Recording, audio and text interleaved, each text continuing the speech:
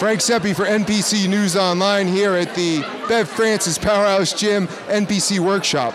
I'm here with IFBB Classic Physique Pro, third place finisher at Mr. Olympia, George Peterson, and his trainer, Justin Miller. So, okay, when you competed at the Olympia, people were like, where did this guy come from? You knew he was going to do good. You've been around for a long time. You called it. But how did you make that kind of progression to the top so quickly? I mean, really, it was just a bunch of hard work, persistence, and dedication. You know, uh, it was uh, a roller coaster ride to get to the Olympia.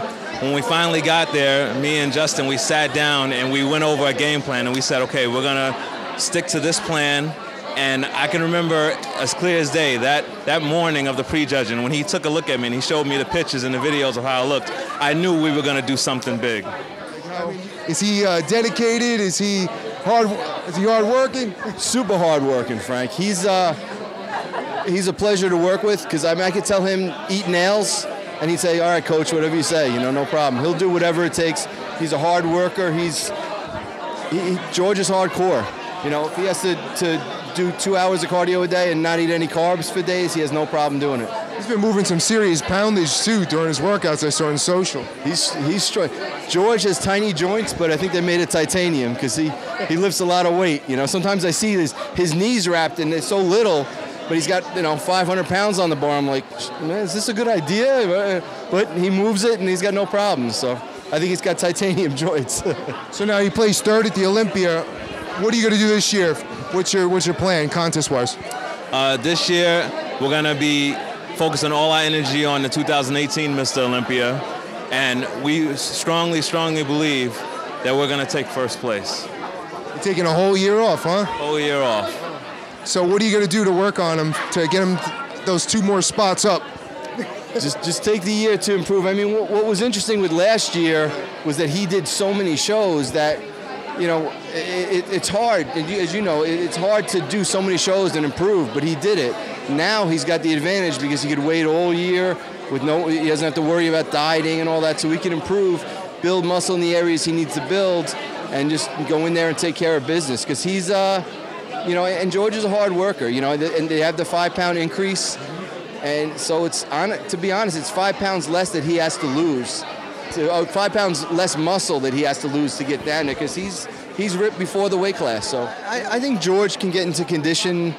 You know, he's a hard worker, so he'll do it. And the thing is also that we we had a plan going into this. We wanted to make sure he was sharp.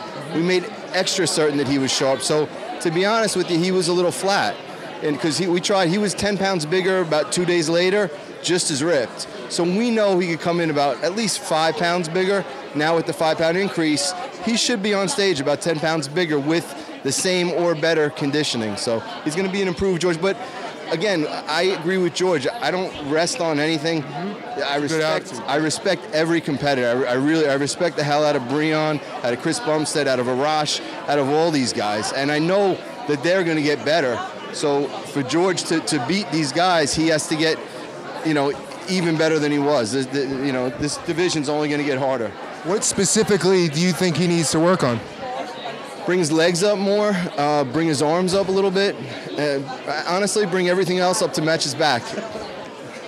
So you'll be squatting all for the whole year. The whole year. You know, maybe, maybe uh, we could do a squat video. Uh, you know, sometime soon. Hundred percent. For those who don't know the height and weight, what height and weight do you come in? Uh, height, I come in about 5'8", and for this year, I'll be weighing in at 192. That's my cutoff. Well, and you had that 10 pounds you said two days later, so you know where that weight's coming from. So, who do you, as far as diet and stuff, just c- quickly, I know there's a lot of NPC competitors out there that kind of want to pick your guys' brains, your heroes to them as far as what do you do as far as contest prep diet? Contest prep, my contest prep diet, you know, it varies from time to time, you know, depending on where I'm at. For the most part, it's, um, you know, little to no carbs. Uh, and my body seems to respond well to no carbs. Uh, you know, and then on the uh, days that we need, on the days that we do legs, because that's the body part we want to bring up, I'll increase my calories on that particular day. So for the most part, it's just that we keep the protein high, about I would say seven to eight ounces of protein a meal, and uh, the and the, the carbs. I would say that I eat, I eat less carbs than a bikini competitor, competitor would. Justin's got him going old school. Justin was a successful bodybuilder himself. Well, not like these guys, but but yeah, I mean, you know, people. It's funny because people come up to me all the time now and they're like, you know, coach, what's the secret? You know what? Yeah. And and my answer is the secret is that there is no secret. You know, you gotta work harder. You gotta suffer more. So it's like there's some people that are blessed with that super fast metabolism that can eat tons of carbs going into the show and still be ripped. I, I have a couple guys that I train that are like that, but for, for most of us, you know, mo- most guys have to. It, it's how hard can you work? How much can you can you suffer? And uh, George is tough. I think he can suffer more than most people, so it gives him an advantage. Yeah, we're gonna have a, a ton of videos in his off season because I'm curious to see how this guy trains as far as squats and what you're gonna have to do increase his biceps and stuff. So we're gonna have the cameras there. Usually you can lift an, at least another 10% more when the camera's on you. Okay. How do people get in contact with you on social? Oh, sure. Um, my Instagram is George P underscore Dabull. That's D A B U L L. Uh, Facebook, you can just find me at George Peterson. Uh, George Peterson IFBB Pro is my athlete page. And I started my uh, YouTube channel, which is uh, GP3 The Bull. So, you know, just look me up in any one of those forums. And you, Justin, you have other clients as well too. How do people get in touch with you to, to kind of become a, a Justin Miller client? Well, on Instagram, it's a strong spirit on Instagram. So it's uh, yeah, and, we're, I, and I'm lucky. You know, I'm working with some very good athletes. George is one of them. Arash is one of them. Have a couple others up and coming that are going to be really good. So, you know, I'll just do the best I can with these guys. But I'm lucky. I have some really good athletes working under me. Make me look smarter than I am a little bit. So how do you balance like the Olympia? How do you balance Arash Rahbar and George getting ready for the same contest?